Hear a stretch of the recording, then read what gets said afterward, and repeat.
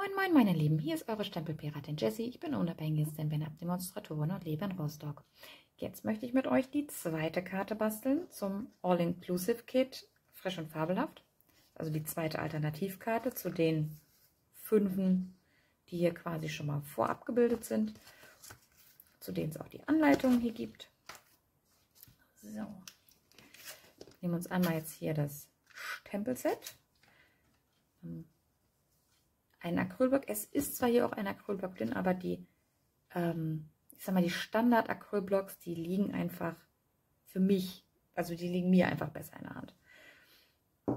So, dann haben wir hier in der kleinen Box, in dem Set war drin, das, äh, der Stamp Spot. Ich nehme jetzt mein normales Stempelkissen Marineblau, den lege ich mal zur Seite.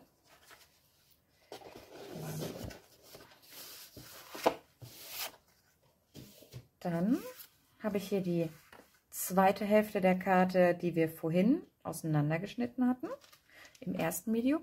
Das erste Video verlinke ich euch nochmal hier unten drin. Ich dachte mir, ich ziehe das Ganze jetzt nochmal wieder auseinander, damit ihr nicht ein langes Video am Stück gucken müsst, um die Karte zu finden, die ihr vielleicht in der Vorschau jetzt schön gefunden habt, sondern es gibt wieder jeden Tag so ein bisschen was. Und vielleicht gibt es auch mal zwei am Tag, müssen wir mal schauen. So, dann habe ich hier noch ein Stück Flüsterweiß und die Kordel und das, äh, die, die Blümchen aus dem Set selbst. So. Wir benötigen dann noch den, das Schneide- und Falzbrett und halbieren uns einmal den, äh, ja, die, die naja, das ist ja eigentlich ein Kartenrolle im ursprünglichen Sinn. So. Das Stück ist jetzt 7 mal na, oh, knapp 10 cm. Ich habe mich dann gerade jetzt doch für ein anderes Stück Flüsterweiß entschieden. Das ist ein halbes DIN A4, also in 10,5 mal 29,7. Das falzen wir uns jetzt einmal bei 14,8. Ja, bei 14,8 ist hier oben.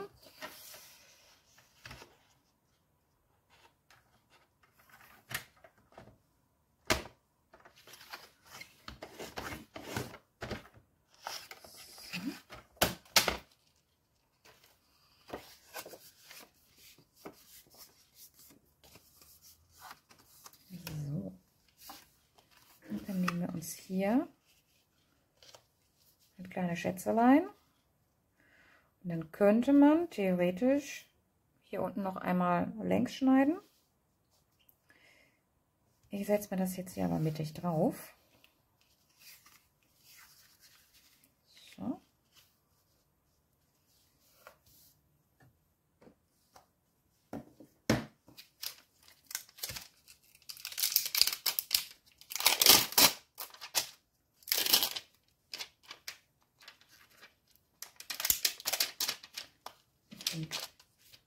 Ein kleiner Dank.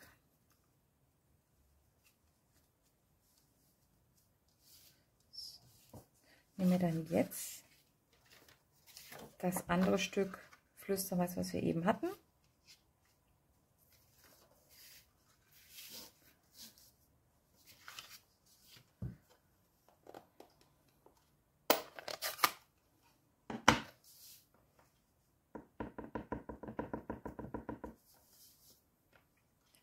Stempeln wir das hier drauf.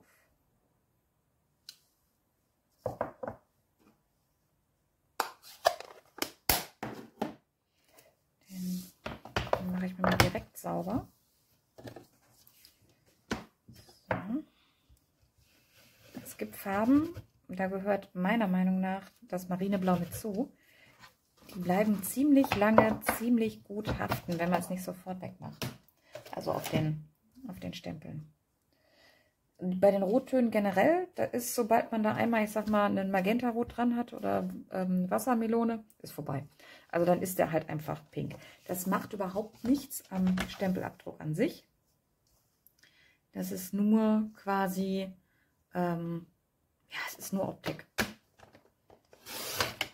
So.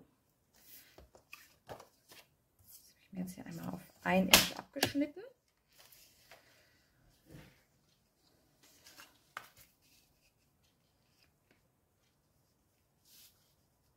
Und das kleben wir uns hier gleich drauf. Aber, also ich hatte erst gedacht, ich mache das gerade. Ich glaube aber mit den, ähm, mit so einem, mit einem Bannerstanzer wäre das ein bisschen cooler. So. Die beiden habe ich hier. Ich glaube aber, der hier wirkt da am besten.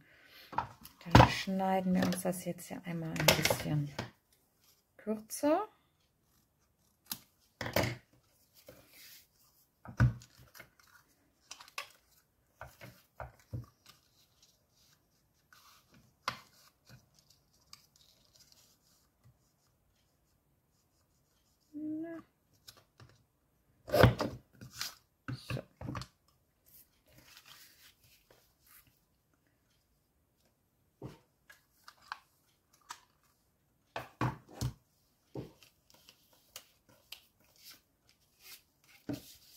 Diesmal setze ich mir den, äh, ja, die ja, Mattung ist es ja auch nicht. Das ist ja im Prinzip das, was mal der Kartenrolling war. Setze ich mir diesmal etwas höher. So.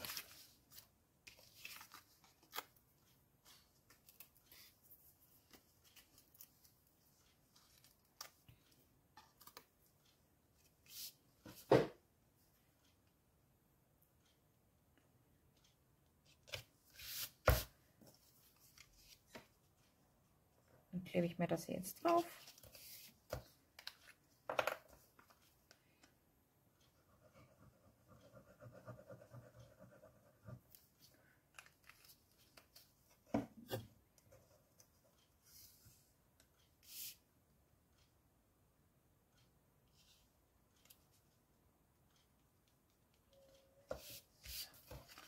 Und schon ist die kleine, schnelle Dankeskarte fertig. Diese Karte bekommt jetzt eine von meinen Kundinnen. Die hat bei der letzten Sammelbestellung mitbestellt.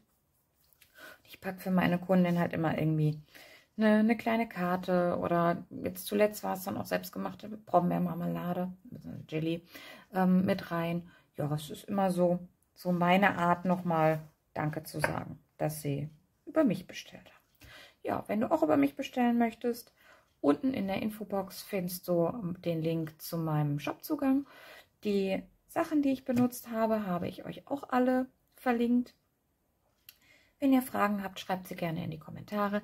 Wenn ihr Anregungen habt, Kritik, ähm, gerne konstruktive Kritik, könnt ihr auch gerne in die Kommentare reinschreiben oder mir eine Mail schreiben an stempelpiratin.gmx.de.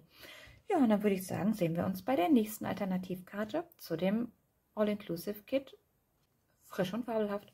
Bis dann. Ciao. Ja, einen kleinen Nachtrag habe ich dann doch noch. Und zwar wurde ich jetzt schon ein paar Mal gefragt, wie das ist, wenn man Karten ähm, gewerblich verkaufen möchte. Ich mache hinten auf meine Karten immer mein Stempelpiratin-Logo drauf. Und dann gibt es ähm, einmal das Set aus der Kreativwerkstatt und ich habe ein etwas älteres hier. Da ist dann drin Created by, in dem Stempelpirat und dann Stampin' Up und, äh, oder auch Stampin' Up alleine. Also es ist so, wenn ihr äh, Stampin' Up Karten auf dem ähm, Weihnachtsbazar oder wie auch immer verkaufen möchtet, dann muss halt einfach ein Vermerk drauf, dass die Stempel von Stampin' Up waren oder sind. Ne? Ganz einfach hinten nur drauf und dann ist, ist schicki. So, nur aber. Bis zum nächsten Mal, bleibt gesund. Ciao.